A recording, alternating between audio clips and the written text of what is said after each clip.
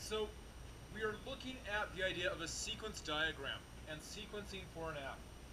Because when we have an actual application, we need to plan out how that app is going to, how it's going to work, how that app is going to execute, because we're not simply just putting together, you know, this quick little blurb, say for example like stupid project number three, where it literally just gets up and goes.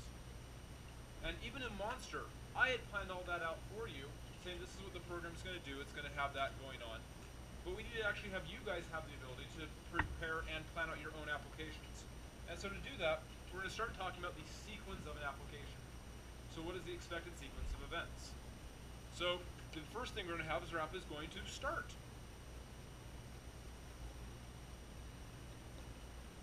Right? And then eventually,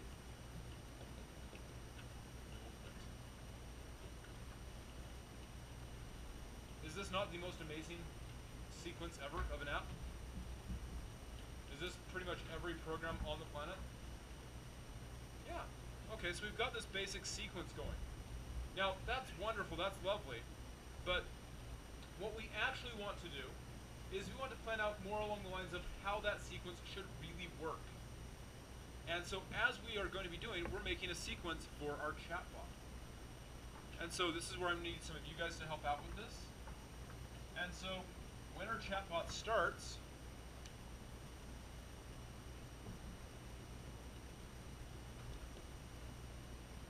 what should it do? Okay.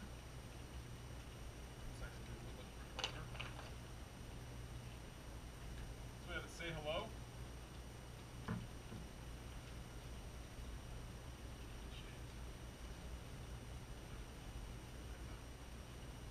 And then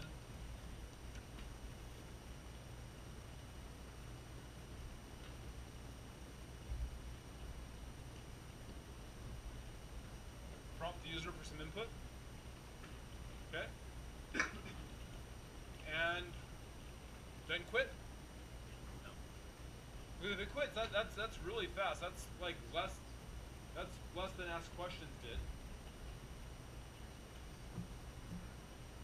Okay, so we want we want to continually doing this say hello, prompt user but do this whole thing right here over and over again, just so it says hello. Mm-hmm. Blah blah blah. Hello. Hello? Hello? Hello? Hello? Oh wait, that sounds kind of weird.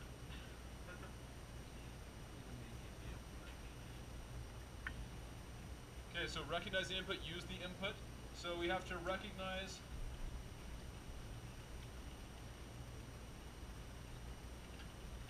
and use input. And then what? Then quit? If, if we, need to keep talking. So this sequence right here needs to repeat it.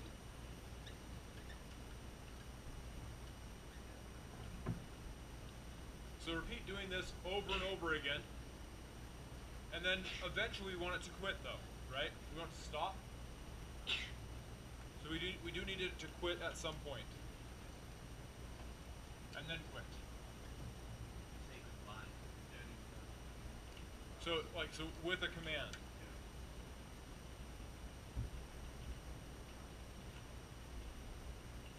So it starts off with hello, does some stuff for a bunch of times, and then we say goodbye and it's over. Sound good? So we have our planned sequence of stuff.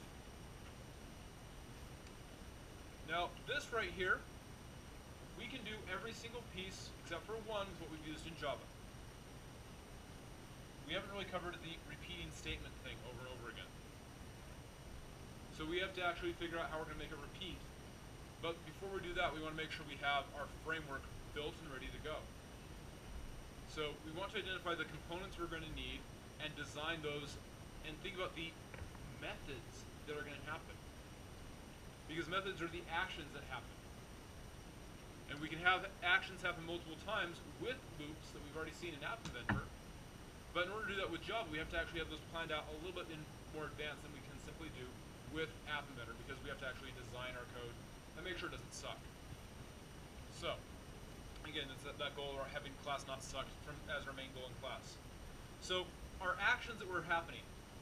If we look at this list of things right here, which ones are actions?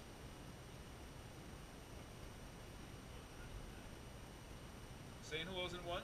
Recognizing using input is one. Is prompting user for input an action? Okay, how about quit? So in fact, all four of these chunks, hello, prompt, recognize, and use, and then quit are all methods that are going to happen. So we're going to need to have a set of methods that can do items over and over again, and then do things from that. Think back to what we did last time. We had some idea of like some things that we wanted our chatbot to actually do. So there are some specific things we wanted chatbot to talk about. Those would be other things that would be part of our chatbot. They're separate from the prompt user for input and recognize that input. They're kind of in that, that recognize section. So we'd have to have it go and check this other chunk of actions. Does it match this, yes or no? Does it do this? Yes or no? And then from that, use the input. So if it does recognize something, do something with it. If it doesn't, well, random topic time. Would you like to talk about George? I'm not sure, but we should talk about him some more, shouldn't we? I did too. His hair was quite nice. We should talk about his hair. So, as you can see, we have that ability to. Now, our chatbot is nowhere going to be as smart as Cleverbot. Cleverbot had hours and hours and hours and people and people and people working on it. We're going to have a fairly stupid bot. And that's okay. But we'll make it so that our stupid bot can keep you busy for a while. FairlyStupidBot.com. Yes. Okay, we, we, we will we'll have to consider this. Um, yes.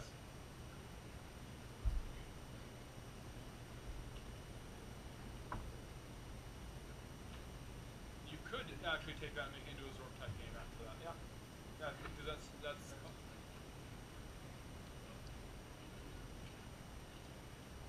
It actually basically it would it would evaluate what you type in. If, if it yeah you could do that and add some more features yeah.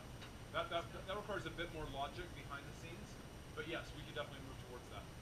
The first version though will be we have to, we have to work on how to get those strings processed.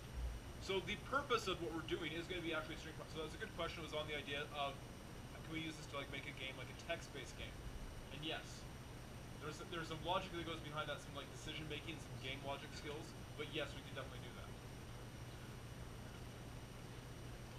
Yeah. Yeah, we, we could definitely make a text-based game, and we could uh, definitely adapt this project after we get it started to go fully do that. Um, but the idea behind this is we need to learn how to use strings. Strings are a huge, huge part of computer science programming in general. And in fact, just computer science, when we're dealing with data, almost all the data that we use in the world is text.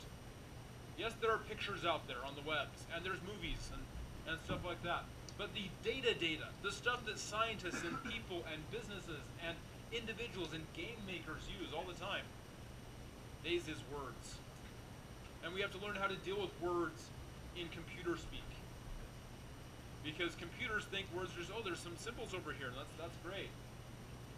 So we're going to be looking at how we can actually do some stuff with that.